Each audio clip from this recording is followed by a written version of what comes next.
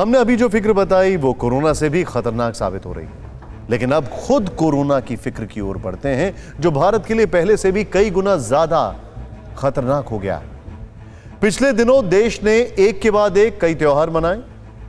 घनघोर लापरवाही। अब फ़िक्र ये उठ रही है कि हमने दिवाली और छठ तो धूमधाम से मना ली, लेकिन क्रिसमस भी क्या वैसे ही मना पाएँगे? ऐसा क्यों कहा जा रहा है?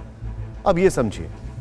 कैम्ब्रिज जज बिज़नेस स्कूल और National Institute of Economic and Social Research की एक रिपोर्ट में भारत में तेज़ी से संक्रमण बढ़ने का खतरा जताया गया है। रिपोर्ट में आर वैल्यू को आधार बनाया गया है, जिससे यह पता चलता है कि एक संक्रमित से कितने व्यक्ति संक्रमित हो सकते हैं और इस लिहाज से चार राज्य ऐसे पाए गए हैं जहाँ आर वैल्यू पूरे देश के औसत से ज़्यादा है। अब इसका सबसे ज़्यादा असर कहाँ कहाँ हो रहा है, ये आपको बताएँगे, लेकिन कितना खतरनाक हो सकता है, ये पंजाब को लेकर लगाए जा रहे अनुमान को देखकर समझिए। पंजाब में फेस्टिव सीज़न के बाद संक्रमण बढ़ा है, और उस हिसाब से इस महीने के अंत तक डेली कोरोना केस में 300 प्रतिशत की बढ़ोतरी हो सकती है। लद्दाख में बीते पाँच दिनों में डेली न्यू केसेस में 118 प्रतिशत का इजाफा हो चुका है। खतरे की सबसे बड़ी घंटी केरल में बजी है, क्योंकि वहाँ बिल्कुल यूरोप के पैटर्न पर कोरोना के केस बढ़ रहे हैं, और केरल और यूरोप में कोरोना की लहर का क्या कनेक्शन है? और उसकी वजह से देश में एक बार फिर कोरोना विस्फोट हो सकता है ये बहुत बड़ा सवाल है। ये समझने के लिए आप इस रिपोर्ट को देखें।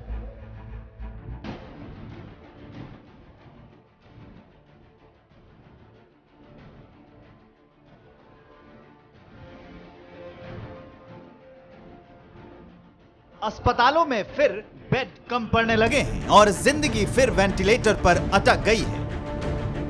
ये तस्वीरें जर्मनी की हैं, जहाँ कोरोना संक्रमण के आक्रमण से लोगों की साँसें फिर उखड़ गई। हैं क्योंकि जर्मनी में कोरोना का कहर रोज नए रिकॉर्ड तोड़ रहा है। इस महीने की शुरुआत में अब तक नए केसों में दो फ़ीसदी की बढ़ोतरी दर्ज हो चुकी है। हालात ये हैं कि जर्मनी के 33 जिलों में अस्पताल में एक भी बेड खाली नहीं है।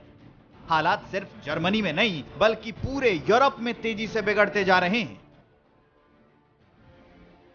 बीते हफ़्ते दुनिया में कोरोना संक्रमण के जितने नए केस मिले, उसमें से 60 फ़ीसदी केस यूरोप में पाए गए। यूरोपीय देशों में बीते एक हफ़्ते में कोविड से होने वाली मौतों में 10 फ़ीसदी की वृद्धि हुई है। यूरोप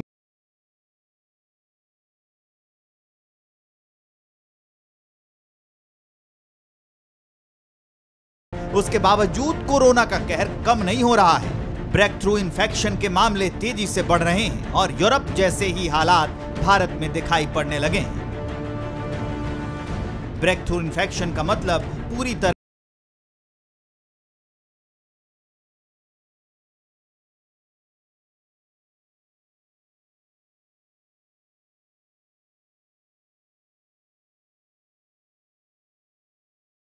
ये फ़िक्र केरल ने बढ़ा दी जहाँ कोरोना केस की रफ्तार ज़रूर थम गई है, लेकिन अभी भी पूरे देश में सबसे ज़्यादा केस वहीं मिल रहे हैं।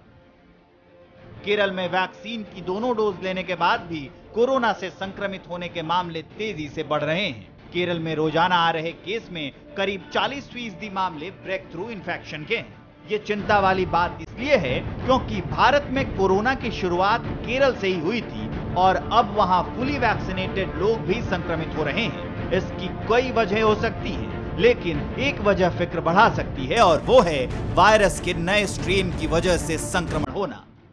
अगर ऐसा है तो केरल की तरह ही बाकी राज्यों में भी ब्रेक थ्रू इन्फेक्शन के केस बढ़ सकते हैं। मतलब ये कि यूरोप की तरह ही वायरस भारत में भी वैक्सीन के कवच को भेद सकता है और पहली लहर की तरह ही संक्रमण की नई लहर का एपी सेंटर बन सकता है।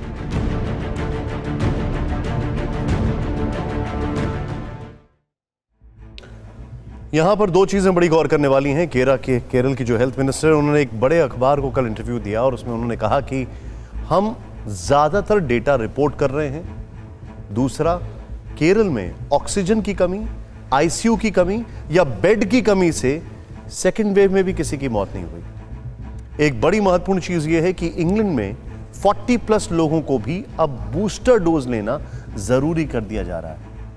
हमारे यहाँ बूस्टर डोज का स्टेटस क्या है पूरे मुल्क फ़िक्र आपकी।